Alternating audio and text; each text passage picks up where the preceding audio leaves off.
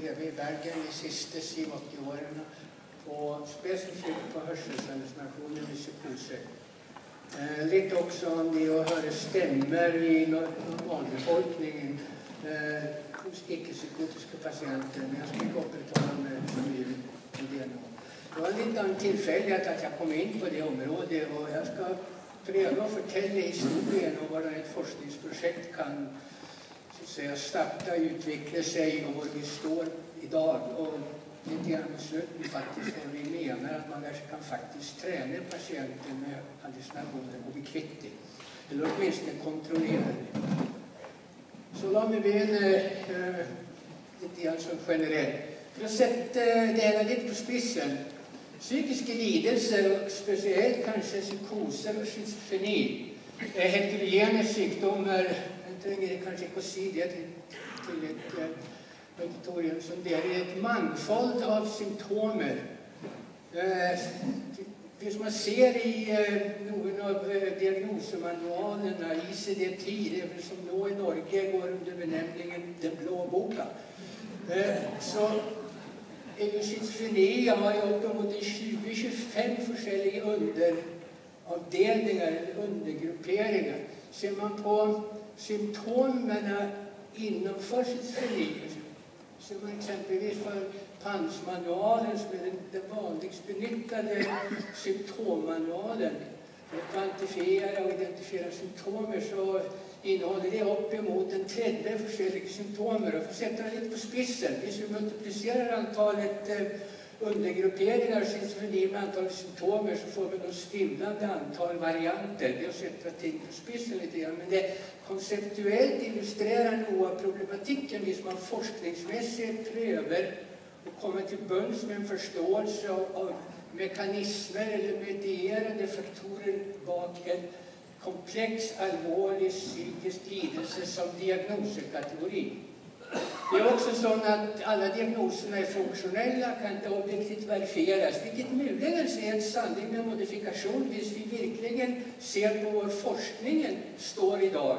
Om det inte snart kanske skulle vara möjligt att ha en, en objektiv verifiering av, av någon av de diagnostiska kategorierna, och speciellt inom schizofreni. De underliggande orsakerna eller mekanismerna är heller inte kända och det är där någonstans som vi kommer in och prövar och bidrar till det.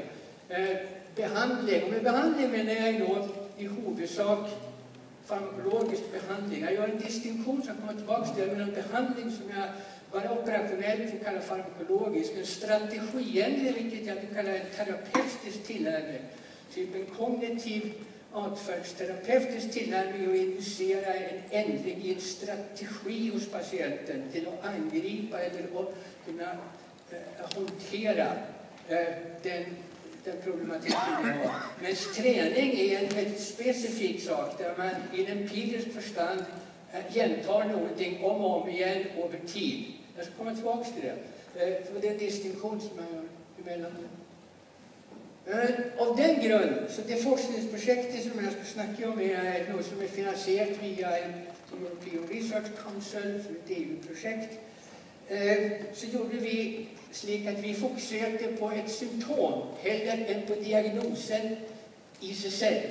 Och det är något som vi har kallat för, för constraining the phenotype. Eller att vi vi, vi snävrar in eh, problemställningen och går på ett symptom hellre än vi går på diagnoskategorin i sig själv. Det har nog en fördelar nu. det symptomet kan kvantifieras. Som forskare så vill vi kvantifiera ting. En diagnos kan inte kvantifiera, enten har man den eller så har man den inte. Men symptomen, symptomen är grad eh, eh, det är enklare att fokusera problemställningar, nu snackar jag som forskare, inte som kliniker. Det är enklare att fokusera hypoteser. Man kan jobba med mindre samples också, än om man ska så att säga, jobba med hela diagnoskategorin schizofreni utifrån det jag sa om antal undergrupperingar och antal symptomer.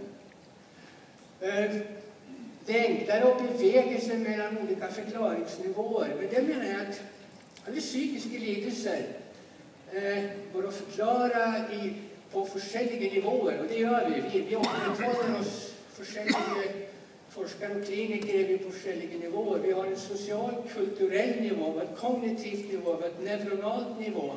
Vi har ett cellulärt nivå, vi har ett molekylärt genetiskt nivå. Och de allvarliga psykiska lidelserna så att säga, drivs till forskning eh, på alla de nivåerna. Eh, finns man fokuserar på symptom är det enklare att bevega sig mellan nivåer. För det är klart, vi önskar allihop att gå från den kliniska nivån hela vägen ner och se om det finns några molekylära förklaringar till ting. Men det klarar vi inte idag, så vi måste stoppa någonstans. Det är också enklare att följa med forskningslitteraturen, det är vanskligt nog. Eh, men om man ska följa med på schizofreni som kategorier, det måste bli. Därför så, så landade vi på hörselhallucinationer. För det är det mest framträdande symptomen och förenklar lite grann. Det är det mest framträdande, kanske det mest kritiska symptomet för schizofreni. Det är diagnostiskt förstand, behandlingsmässigt eh, och så teoretiskt, sånt sätt. Eh, jag menar att det någon inom förståndet förenklar definierar psykosen eller schizofreni. Inte helt exklusivt unikt, men det, det har en sorts definitionsmässig status över sig. Så det är inte att man fokuserar på hallucinationer. Hallucinationer, hörselhallucinationer är en överbevisning om att stämmer, individer, tankar snackar till patienten till trots för frånvaro av en yttre akustisk kilde som kommer in genom öronen. Vilket är ett väldigt märkligt och intressant fenomen i sig själv. Dere är väl, hoppas allihop nu fullständigt överbevist om att dere hörare stämmer. Att det är någon som snackar till er, det jag. Det finns ingen i världen som kan komma in här och pröva att överbevisa att det är bara något tull. Det hör inte någon stämmer. Det hoppas jag inte. Och det är fullt naturligt att det för man skulle kunna måla till och med de akustiska böljorna, lydböljorna som träffar öronsten.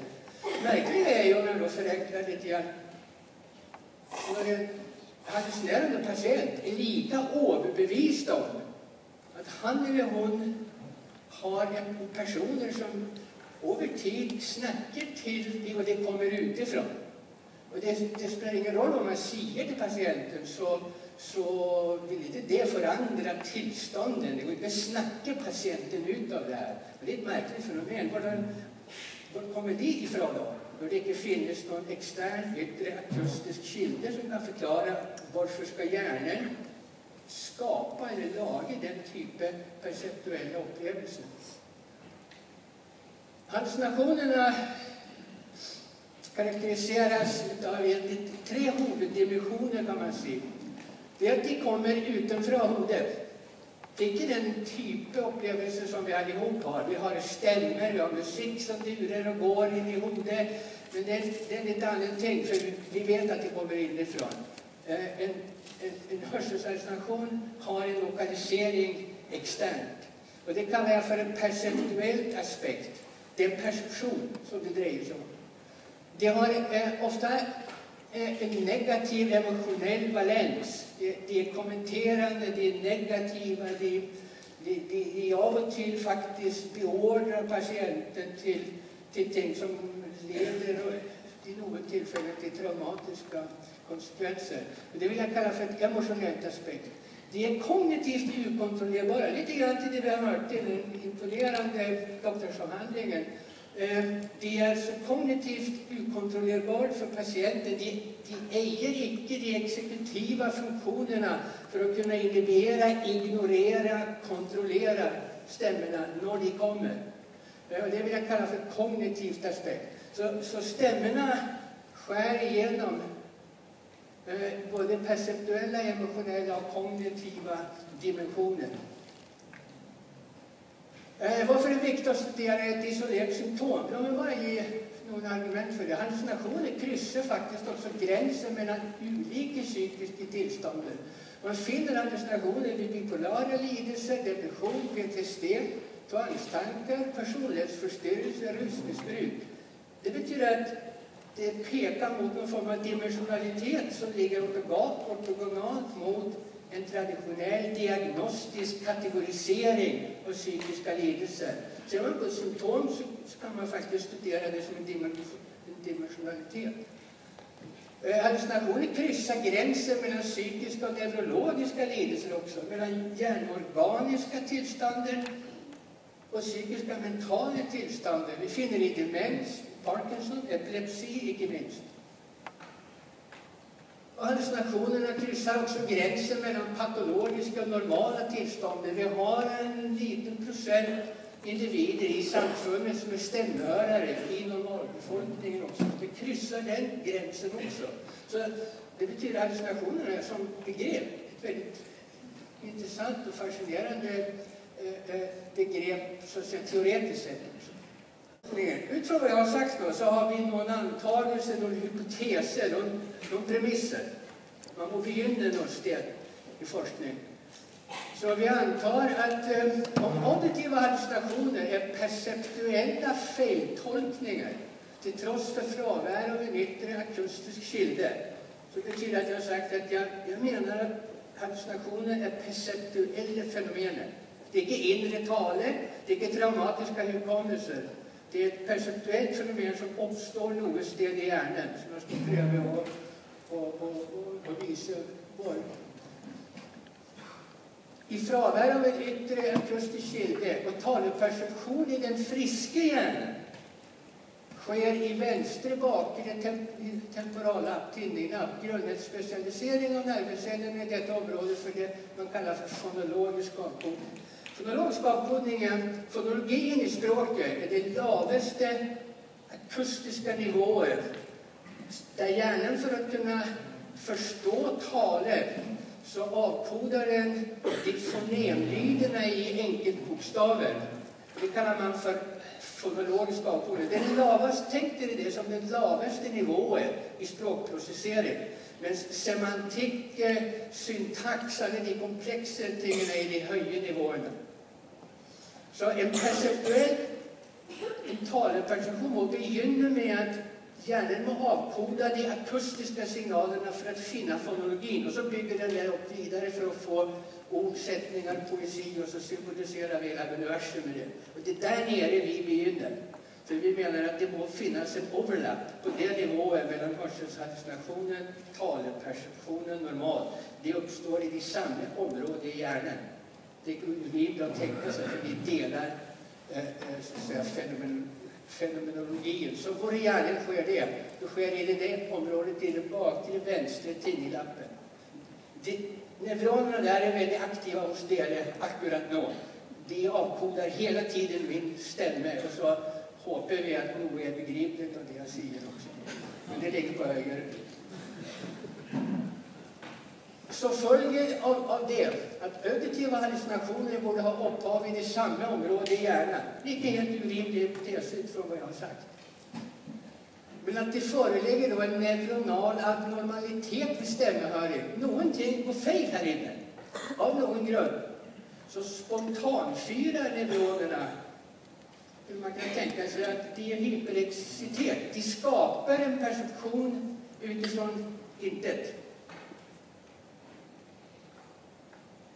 Slik att neuroner i vänster temporallapp är ett hyperexitet tillstånd med spontan fyring då patienten hallucinerar.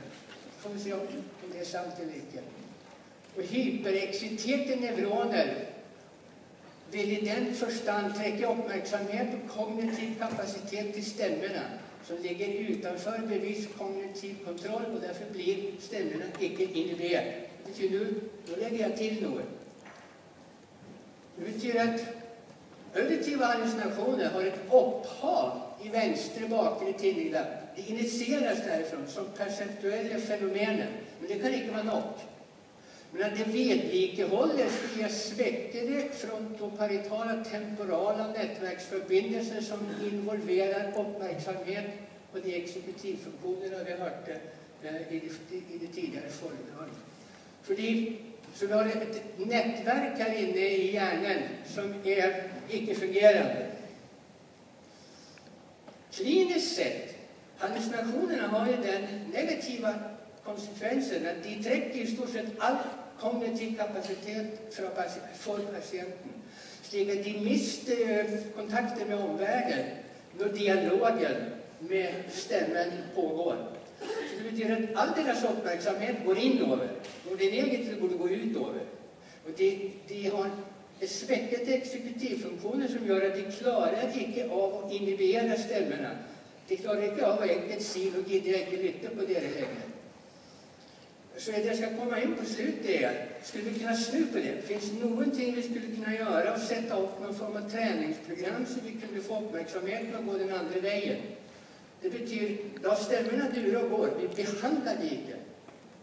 Men vi tränar väck uppmärksamheten från stämmorna och utåt. En aspekt av kognitiv eh, eh, eh, eh terapi. Men jag vill kalla det träning, men jag vill ska komma in så det har sin, sin upphav i, i den modellen som vi föreslog för, för några år sedan. Så där, där ligger modellen. So auditory hallucinations are perceptual misrepresentation that attract attention focus to the voice and the failure of top-down executive control i det nätverket som finns. Så hvordan har vi studerat det? Jag ska ha två tillnärmningar till er. det. Den ena kallar jag för en psykologisk tillnärmning, den andra jag kallar för neurovetenskaplig tillnärmning. Den psykologiska tillnärmningen så har vi studerat om hallucinationerna har någonting med den vänstra bakre tinnelappen att göra. Låt oss begynna där. Med en väldigt enkel metod som eh, heter en Dikotis-Lytting-metod. Jag ska, ska se några få ord. Vi sätter ordtelefonen på patienterna. Och så presenterar vi långa serier av isolerade fonologiska lyder. Nu är jag tillbaka till fonologi. Som ba, pa, ta, ga. Det betyder ingenting. Det har ingen semantisk betydning. Out of context. Men det har en, en, en, en central fonologisk betydning. Det består av två så kallade fonem. En konsonantlyd och vokallyd. All språkuppfattning är baserad på fonemen. Så om vi presenterar de lyderna så vill vi träffa in i den basala fonologiska perceptionsmodulen inne i hjärnan. Om jag sätter telefonen på patienterna, de eh, får lytte till alltid två olika lyder samtidigt. En i vänster öra, en annan i höjre, men det vet vi inte om. Vi förtäller inte det. Samma med friska kontrollpersoner. Om man gör det, och så ber man att de ska berätta var varje gång de hör en sån lyd ska de bara fortälla vilken lyd som de hör. Det är närmast triviellt enkelt, ett pinligt enkelt ting. Jag älskar att jag gillar att driva på med enkla saker. Jag är inte svart och på. Vill man, vill man göra det skulle man ju förvänta att eh, folk borde väl rapportera lika ofta lyden de hör i högra öra som lyden de hör i det vänstra öra. Men det sker inte. Om man, om man nu kalkylerar forskellen, det menar procent av riktiga som de har gengett från lyden i högra öra minus den i vänstra öra.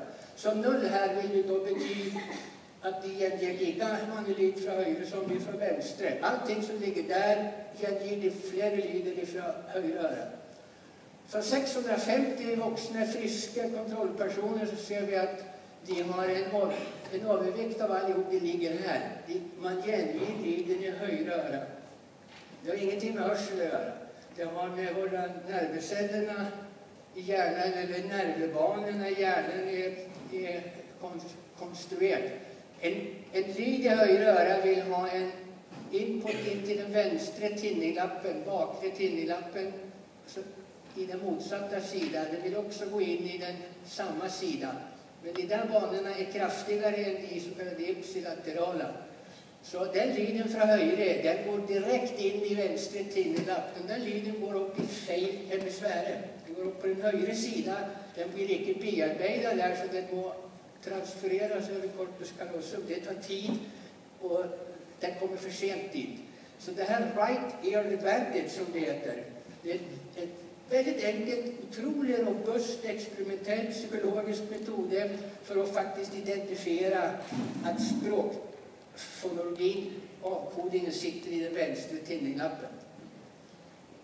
Om vi nu tar och applicerar det på patienter som hallucinerar. Det ni ser här är grad av hallucination som är inte tagit med pannskala men med en av de andra eh, tillsvarande skadorna, BPRS-skalan.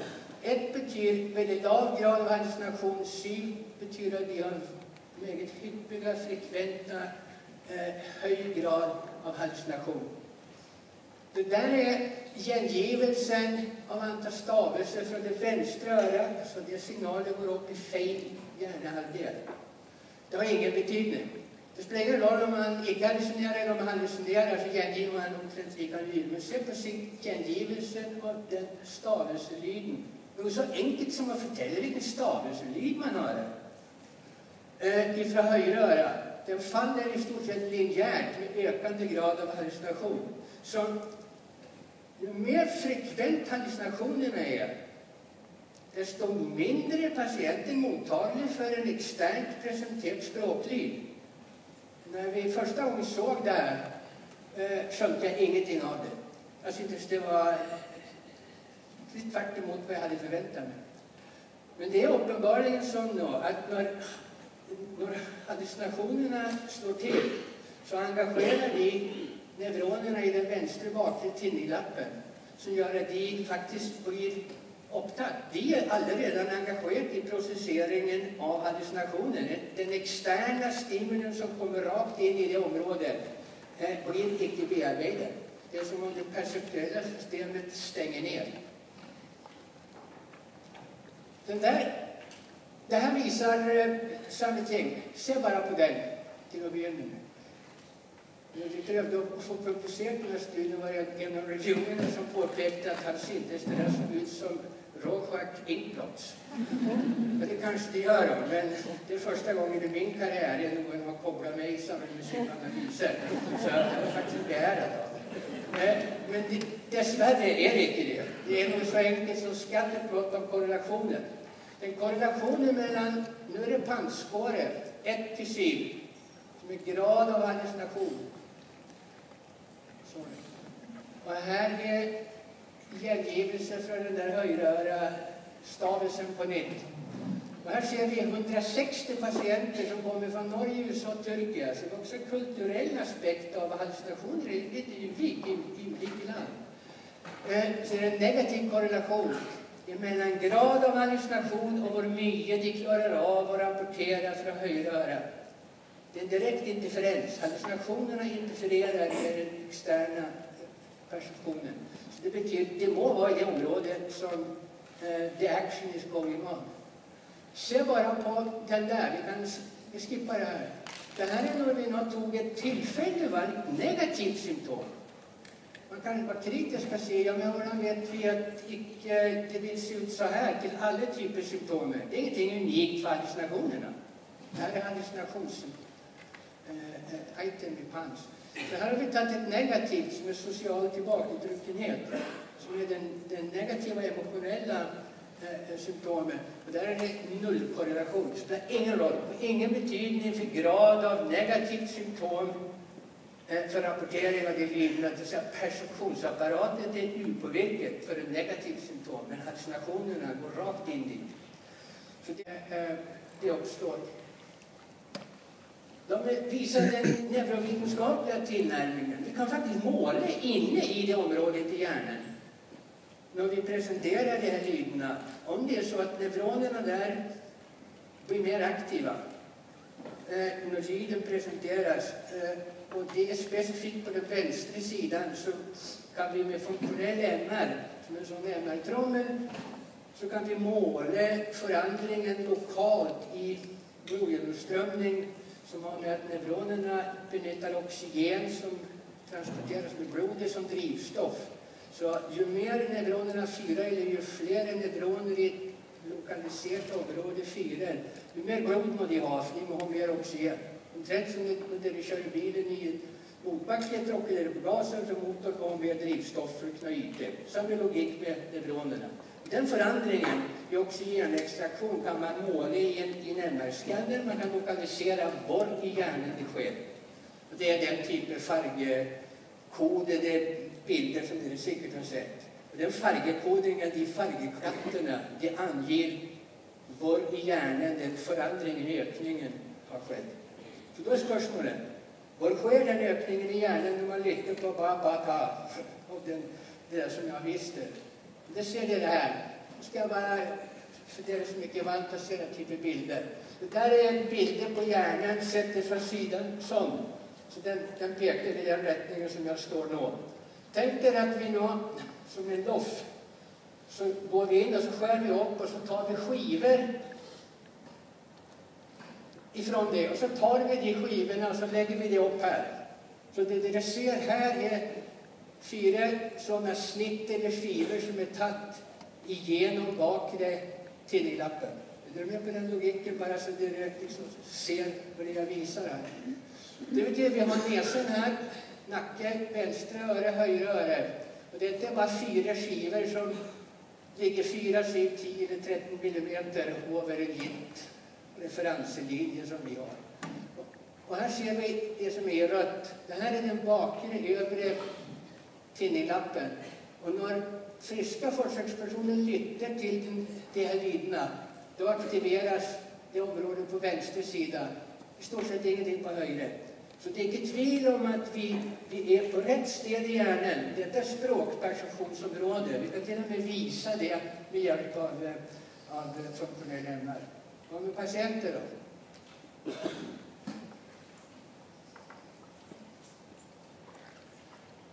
Det här bilden är också ett strikt snitt. Här kan vi till och med se ögonen och delar av, av näsen som skär igenom den bakre övre tinnenappen, bara ett snitt. Det här är från en hallucinerande, stämmehörande individ i frånvaro av någonting som helst akustisk stimuli. Det är den spontana fyringen som hallucinationen i sig själv ger upphov till. Så vi ser en nästan tillsvarande aktivering som de friska personer lytte till en språklyd aktiverar en hallucinerande patient spontant. Så det skulle tala till att det är någon form av patologi som får neuronerna att fira och det leder till den perceptuella upplevelsen av hallucinationen. Eh, här, är jag en, eh, som några år tillbaka, en studie också, det är därför är våra egna data, som jag bara tagit för att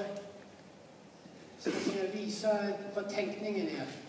Eh, Peter Liderlands skriver We were fortunate to be able to study the interesting and rare case of a woman with schizophrenia who experienced continuous auditory verbal hallucinations which were associated with increased metabolic, metabolic activity, det är ändring i oxygen i så att uh, säga, uh, biokemin hos neuronerna. Increased metabolic activity in the left primary auditory cortex i det området. Så det finns uh, rapporter i litteraturen, this is the area in the brain Vi visste också för några år sedan i en studie som nu är replikerad vad i stort sett är konsensus i världen idag. Visst man ser på för, förändring i grå substans, det ni ser här är inte ändringar i oxygen, det som är orange nu. Det är reduktion i hjärnvävet. Det är reduktion i grå substans. Grå substans är huvudsak neuronerna. Hos en grupp patienter med schizofreni sammanlignat med en grupp friska personer. Så det här är strukturell MR, som också kallas för anatomisk avbildning. Vi, vi ser på hur hjärnan ser ut. Och då ser vi att speciellt i det vänstra bakre tinninlampsområdet är det en signifikant reduktion i hjärnväv. Det är mindre hjärnmassa i det området hos patienter med schizofreni. Av alla, för att göra en lång historia kort, av alla studier av förändring strukturellt i hjärnan vid schizofreni, och det är ganska många områden som är påverkat vid, vid den lidelsen. Men den, den temporallapsförändringen på vänster sida är det mest replikerade robusta fundet som finns. En, en allvarlig schizofreni har den typen av förändringar i väldigt hög sannolikhet att en patient vill ha det. Så det är både strukturella, funktionella och avfärdsmässiga indikatorer på var vi befinner oss. Eh, det här var bara en eh, metaanalys metaanalys publicerad tidigare i år som visar sametingen. Alltså, de har gått igenom alla studier i stort sett som är publicerat, inklusive den vi publicerade för flera år sedan och finner också i stort sett eh, som sameting. Det är där det ligger och den är signifikant på vänster sida, icke på höger sida. Så leder det till den stora paradoxen. Jag har sagt och jag visste att den där, en spontan aktivering i det området hos hallucinerande patienter i frånvaro av någon specifika klusterstim. Det jag tro, trodde skulle ske, inte separerat på mig nu, vad ville då ske hos patienter hvis de får lytte till de lidene når de hallusinerer? då ikke aktiveringen bli mye kraftigere i det området? Neuronerna blir spontant aktiverat, då borde de bli ännu mer aktiverat och vi driver aktiviteten utifrån också. Och det är det som visar här, det som är i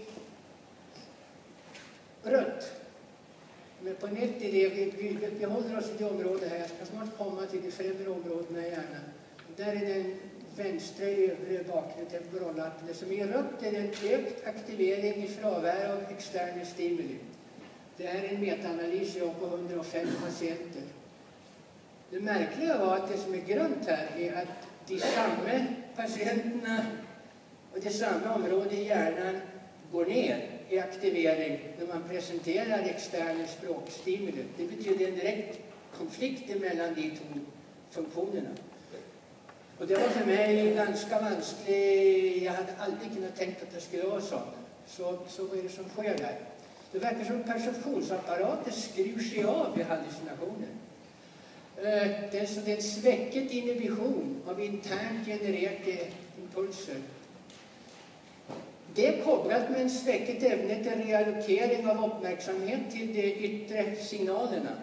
Det kan då förklara varför patienterna får en sväcket realitetsorientering generellt och en ämne till att orientera sig mot vad som sker utifrån.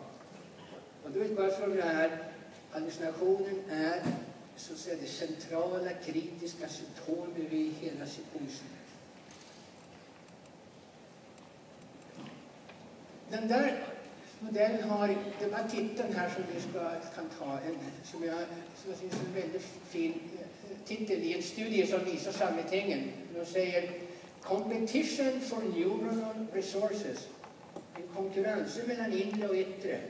Eh, eh, eh funktion.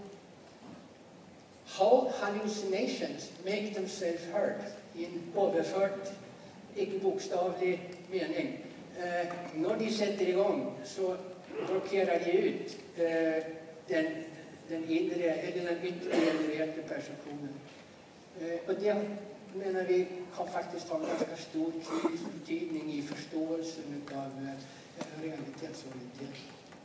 Så, Nog om det. Men, men, men. Andra aspekter vid hallucinationer som uppmärksamhet och exekutiv kognitiv kontroll sitter ju inte i temporallappen. Så var i världen kommer den tingen ifrån att varför klarar ni inte av att inhibera stämmorna när ni väl har, har kommit dit? Svaret på det har ju egentligen blivit i det föredraget för mig. Då. Det har med frontallappen att göra och parietallappen Eh, uppmärksamhet och exekutiva funktioner. Friska kontrollpersoner, friska personer aktiverar då stora delar av prefrontala cortex, stora delar av parietalcortex. Det, det, är mer av ett uppmärksamhetsområde, det här är mer av exekutiv inhibitionsområde. Det som man ser i mitt, mittlinjen i hjärnan, det är ett litet område som ligger sånt i främre delen i mittlinjen som heter anterior cingulate cortex. Det där området har visat sig från fMRI-studier och var egentligen eh, det kognitionsområdet i hjärnan. Det där området verkar vara involverat i stort sett i all form av högre kognitiv aktivitet. Och det aktiveras kraftigt hos friska personer. Se på vad som sker när vi undersöker patienter med schizofreni i de samma områdena. Det är som om aktiveringen inte finns där. Så de har två neuronala dysfunktioner. Den ena ligger i temporallappen, den andra ligger i parietallappen och speciellt i de frontala områdena i cortex. Så här ligger manglande ämnen till kognitiv kontroll av en bottom-up, perceptuellt driven patologi. Och här ligger någonting som jag ska avsluta med. Kunde vi komma åt det här behandlings, behandling, träningsmässigt? Så för att sammanfatta det. Reduce neuronal activation in dorsal ventrolateral prefrontal, i det området. And the dorsal anterior cingulate to a large extent could explain the variance related to cognitive impairment and schizophrenia, explain the failure of executive and attentional control during active hallucinations. Kan gå direkt där. Är det då möjligt att träna upp de perceptuella och kognitiva systemen till att bli mer sensitiv för externa stimuli och mindre sensitiv, kanske till och med eliminera sensitiviteten för internt genererade stimuli. Vi behandlar inte schizofreni som diagnostisk kriterie, som sjukdom, som lidelse. Så om vi går tillbaks till, till modellen då, så, så slutar vi med den. Så här har vi den patologin som startar det hela och som träcker uppmärksamhetsfunktionerna hos patienten i, i sin mening drain the cognitive capacity på engelska. Det, det, det, det suger ur i stort sett all kapacitet. Kliniskt sett så märker man ju det ganska klart.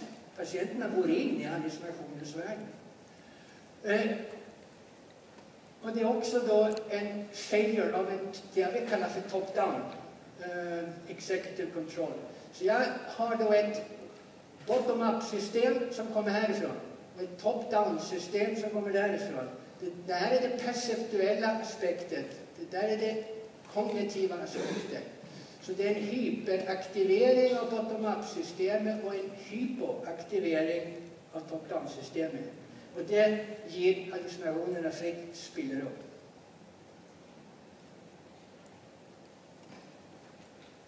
Det var samma ting. Så, sista ting. Kan vi, då, kan vi göra något?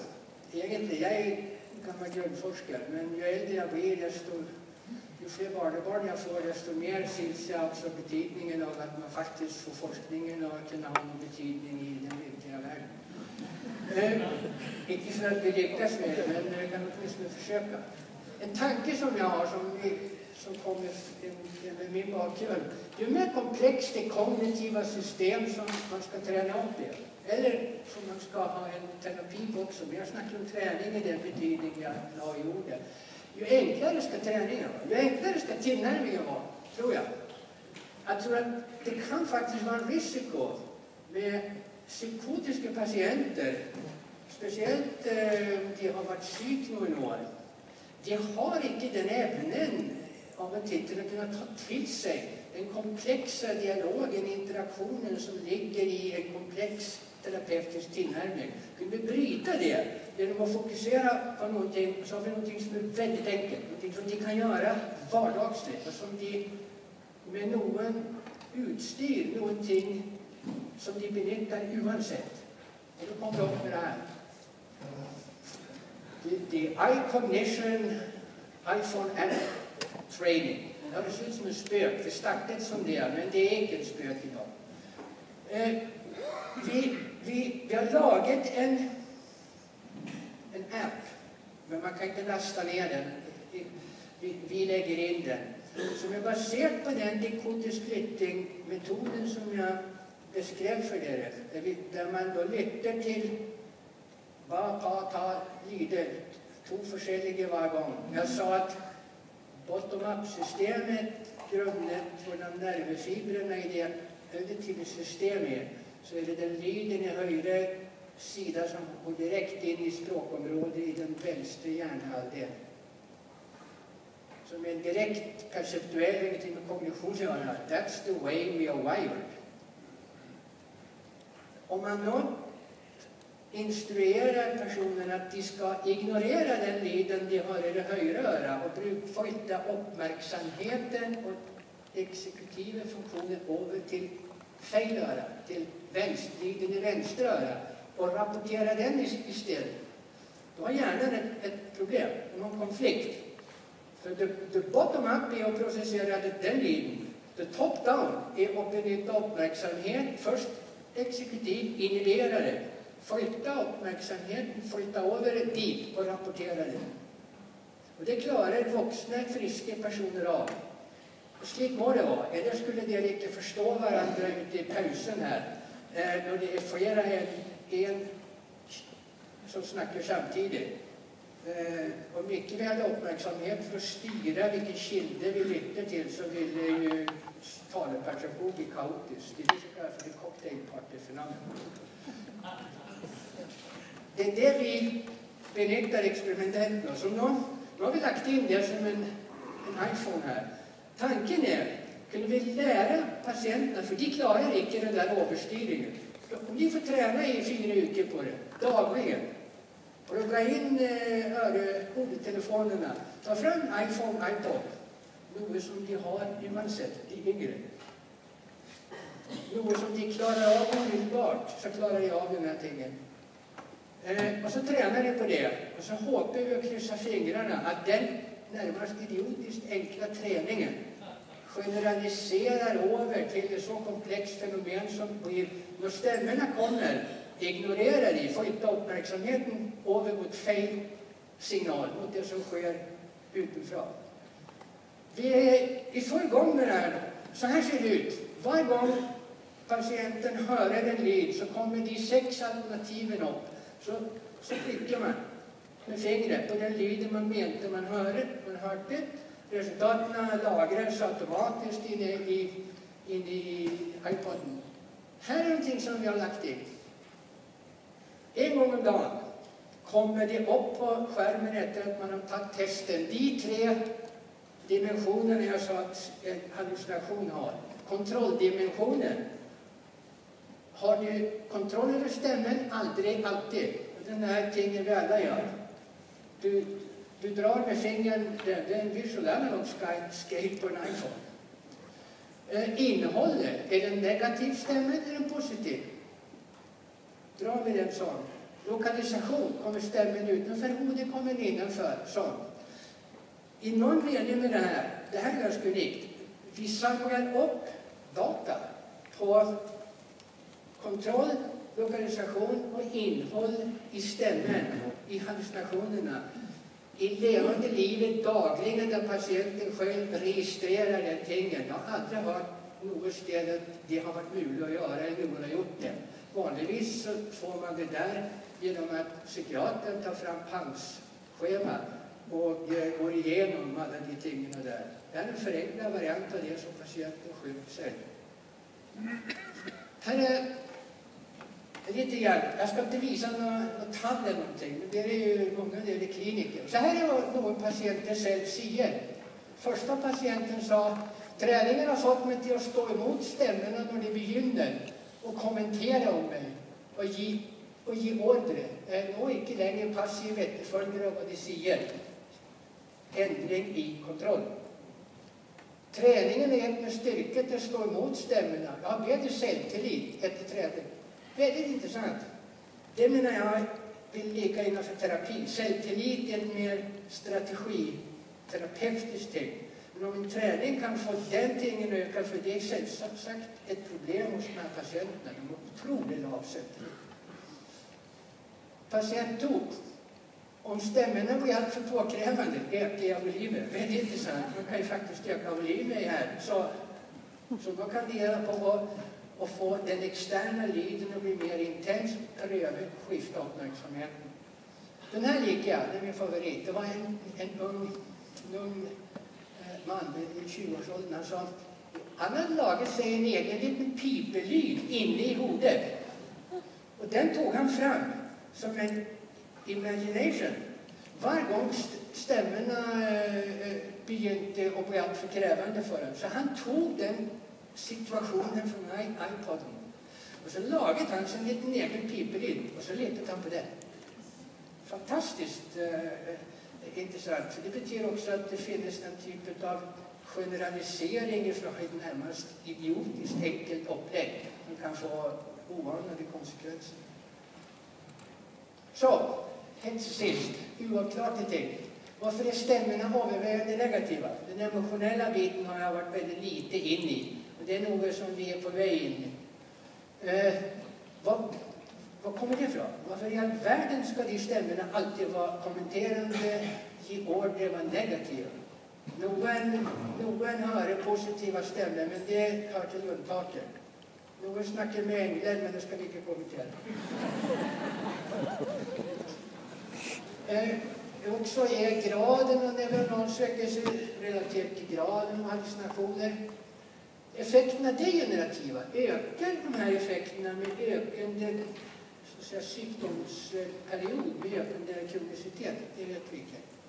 Och vilka, viktigt, vilka signalstoffer och receptorer är involverade? Har jag fem minuter igen? Grej. Ja, men sluta med den tiden. Huska det att jag var inne på så att man kunde beväga sig mellan olika förklaringsnivåer.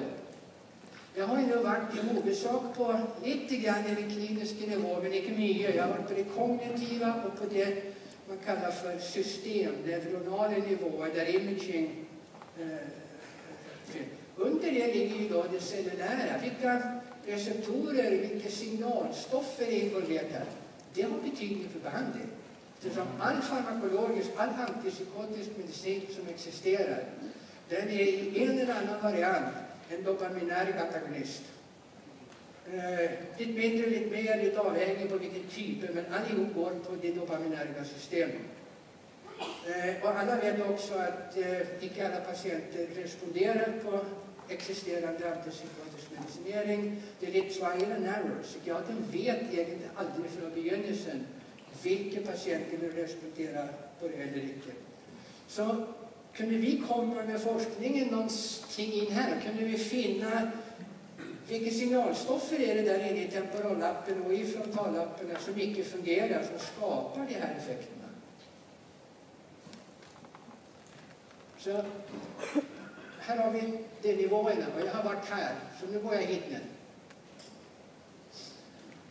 Det här blir lite tekniskt som jag ska pröva att förenkla det. Det du ser här, vi, vi det är den, det är ett funktion, resultat av en funktionell magnetresonansundersökelse, som fMRI-undersökelse.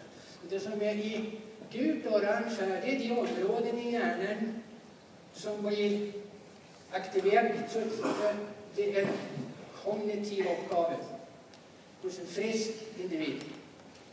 Eh, vi ser eh, förändring i anteriorcinglet och i det i parietala och frontala områden. Det där är den vanliga efemeriundersökelsen. Det du ser här är en,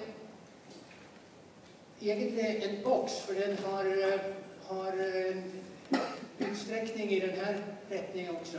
Så man definierar det från ett anatomiskt MR-bild och så ser man till MR-maskinen. Över de nästa tio minuterna måla koncentrationen i det område här av en räcka metaboliter och aminosyror i hjärnan som är sensitiv i, i, som går att måla i ett magnetfält. Och det är någon av de är signalstoffer, det är speciellt glutamat och GABA. Gamma, eh, eh, aminobutyric acid. Glutamat är den mest excitatoriska eh, transmittorn i hjärnan. Det är spritt över hela cortex. GABA är den mest inhibitoriska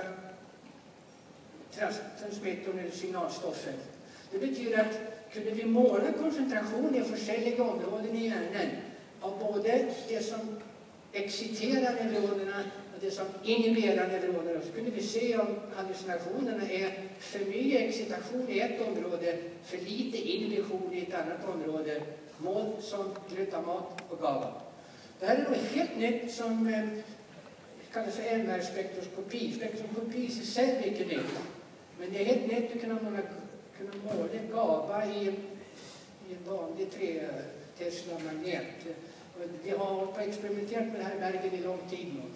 Det man kan få fram är ett så kallat spekter. Så man får, det ser inte ut som bilder, men det ser ut som, som en pik. Så ju större den piken är, desto mer är koncentrationen av den metaboliten i det området.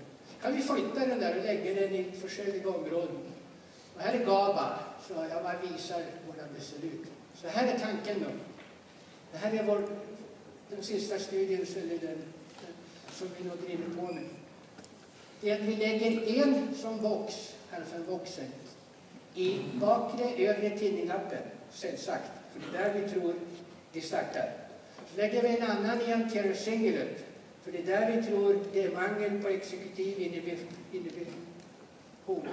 Så hypotesen är det där området har för hög nivå av glutamat, för lav nivå av GABA. Det är för mycket excitation, för lite inhibition. Det här området är det motsatt. Det är för lav glutamatergnivå, det är för hög GABAergic nivå som gör att vi får hyperexcitation här och hypoexcitation här. Kunde vi visa det? Logiska behandlingar som är baserat på andra transmitterstoffer än det dopaminerga systemet.